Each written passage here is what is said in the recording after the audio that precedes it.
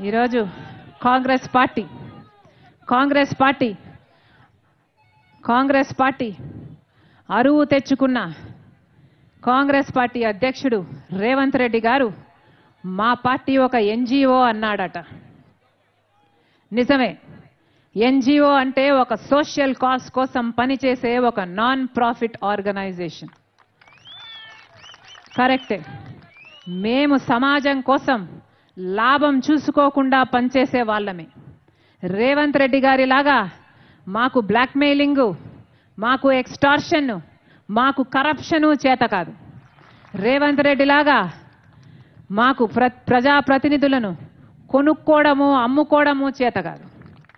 మాకు చేతనయిందల్లా నిరాహార దీక్షలు చేసుడు ప్రజల పక్షాన పోరాటాలు చేసుడు పాదయాత్రలు చేసుడు.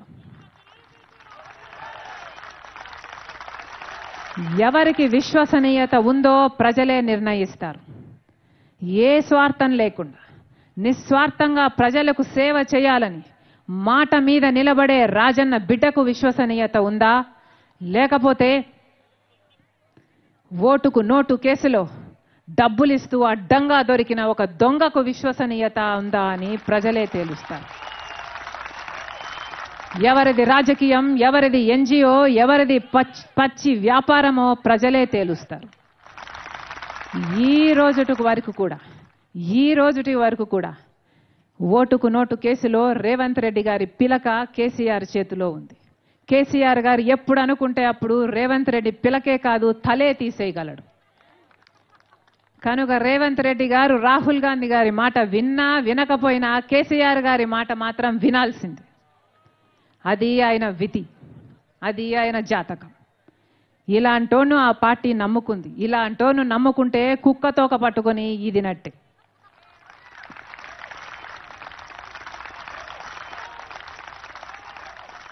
మేము పార్టీ మేము పార్టీ పెట్టక ముందు నుంచి నిరుద్యోగుల కోసం పోరాటాలు చేస్తూనే ఉన్నాం. మూడు రోజులు నిరాహార దీక్ష చేస్తామంటే పోలీసులు చేత కేసీఆర్ గారు మా పైన దాడి చేయించాడు. మా బట్టలు చింపాడు నా చెయ్యి విరగొట్టించారు.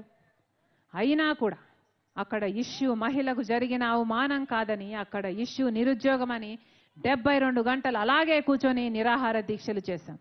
పార్టీ పెట్టిన తర్వాత కూడా ప్రతి మంగళవారం నిరుద్యోగ వారంగా ప్రకటించి నిరాహార దీక్షలు నిరుద్యోగుల కోసం చేస్తూనే ఉన్నాం. ఈ ఏడేండ్లు అసలు నిరుద్యోగం ఉందన్న సంగతి కూడా కాంగ్రెస్ పార్టీకి తెలియదు. వందల మంది చచ్చిపోతున్నా పట్టించుకోలేదు. ఈ రోజు రేవంత్ రెడ్డి గారు నిరాహార దీక్ష నిరుద్యోగుల కోసము గర్జనలు చేస్తాడట. అసలు ఈ రేవంత్ రెడ్డి పార్లమెంట్ పరిధిలో ఒక నిరుద్యోగి ఆత్మహత్య చేసుకుంటే ఈ రోజుటి వరకు వెళ్ళి పరామర్శించలేదు. మేము వెళ్ళి పరామర్శించాం.